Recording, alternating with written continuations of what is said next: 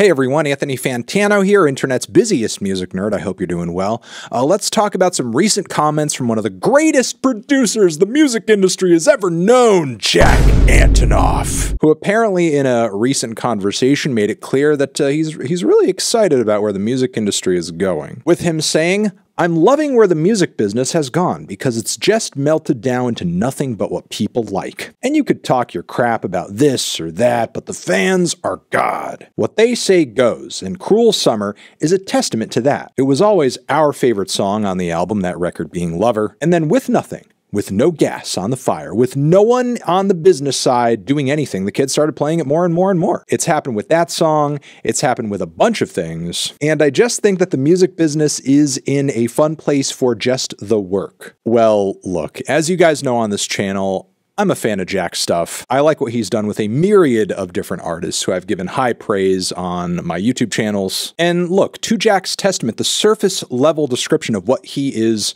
uh, describing here, the history of Cruel Summer and so on and so forth, is accurate. When Taylor Swift came out with that Lover record years ago, that song, specifically that song, was not treated as a single. And yet, years down the road, that song is charting quite high now, which, yeah, sure, that is one cool aspect of the music industry these days that you can have, like, you know, such a random sleeper hit where ultimately the fans decide. And there's a ton of other examples too. You have Future with Mask Off, you have Post Malone with Better Now. These two are tracks that originally by these artists and by uh, the music business that was promoting them at the time. Uh, these songs were not treated as singles, not expected to hit as big as they did, and yet they they freaking did. And look, even on more micro levels, fans are able to essentially decide uh, what songs uh, from a particular album or project uh, works best for them by either listening to them singularly or putting them in a playlist uh, all their own, which is the reason why you look at a project, a very long and expansive project like Playboi Carti's Whole Lotta Red, and you see such a vast separation between the streams on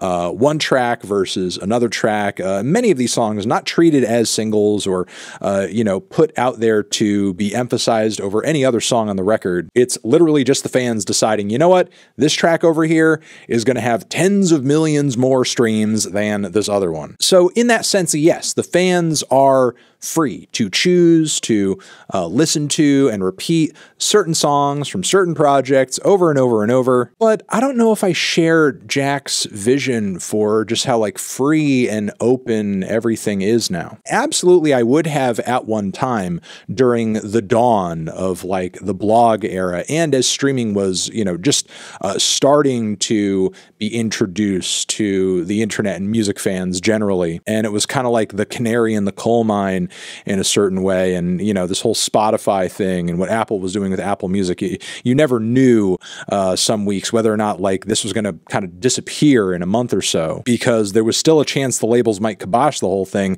due to them not making any money off of it. And you had certain platforms competing with others with exclusive access to post certain records earlier than others. It's funny to think about it this way because I, you know, it's, it's, it's not like we've been into the music streaming era for that long uh, altogether, but uh, the earlier years of it were pretty chaotic, and there was a serious element of excitement to it, given uh, that there were all of these newer and uh, fresher and more underground artists kind of popping off every other month, who we certainly wouldn't have heard of if not for the fact that uh, people have the freedom to just kind of randomly click on whatever they want. But streaming platforms, and especially Spotify, are not new anymore. On top of it, they're no longer really an alternative to uh, the old ways of record labels doing business. They're exactly how labels want to do business. Spotify is more in bed with record labels than it's ever been. Its algorithm is stronger and more predictive than ever. And through the algorithm and the front page and playlists and PR, they've really worked out this mechanism that herds a great deal of the people using the platform into a handful of chart topping artists that the labels are most interested in pushing. As a result, I'm not as much feeling that everything is free and exciting now gospel that Jack is here. Because if the outcome here being that uh, we're just kind of collectively as an audience focusing on the same handful of major label artists, if that outcome is being arrived to through streaming in the same way that it would be during the radio age, are we really getting freedom of choice? Like you're still being pushed to the biggest cash cows in the music industry, and the illusion of choice uh, comes in the shape of like, well, uh, yeah, sure, you're still listening to Drake, you're still listening to Taylor Swift, but hey, look at all the different Taylor Swift songs you get to choose from. That is not exciting. That is not change. That is not a challenge to the status quo. That is not new. That is not different. That is just a new version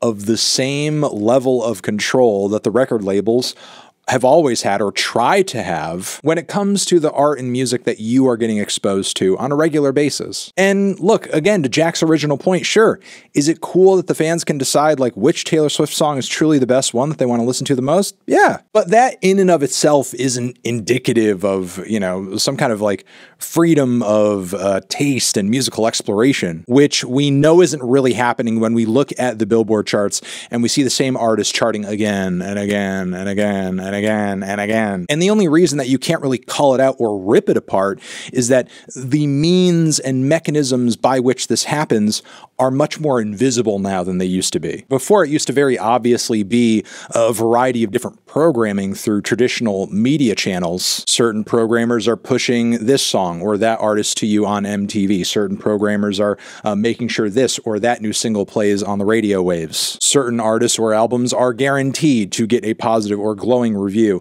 uh, through whatever magazine or publication is uh, looking to uh, continue getting access to that artist uh, in the future for an interview or a cover or whatever. The way things used to be in this way was so much more obvious. But don't be fooled, it's exactly still like that right now, maybe in some ways worse, it's being done more covertly by way of, yeah, log on here or get a subscription here and you'll be able to listen to whatever you want, how much you want. Just listen, listen, listen, binge, binge, binge. And slowly over time, the apparatus that we immerse you in is going to push you a little bit more toward this and that and the other thing. This algorithm could actually be working to push people toward artists and acts and albums that are maybe not getting that much exposure, but like, why would it do that when there's money to be made with the majors? Of course, the artists that get pushed at the end of the day are going to be the ones that uh, make them the most money. The pen that fans are being walked into may be larger than it was in the 90s in terms of, yeah, you can listen to this, this, this, this, this, this, and this, but it's still a pen, which is why on this point, sadly, I think Jack Antonoff is just dead wrong. Things are not moving in a nice or a cool or a fun direction, especially if you're an artist who's just starting and trying to get out there, as the number of ways you have to effectively make a living long term seem to be getting smaller and smaller in number. But yeah, those are my thoughts. That's my opinion. Let me know if you can drop off yours in the comments. You're the best. Over here next to my head is another video you can check out. Hit that up or the link to subscribe to the channel. Uh, Anthony Fantano, Jack Antonoff, uh, forever.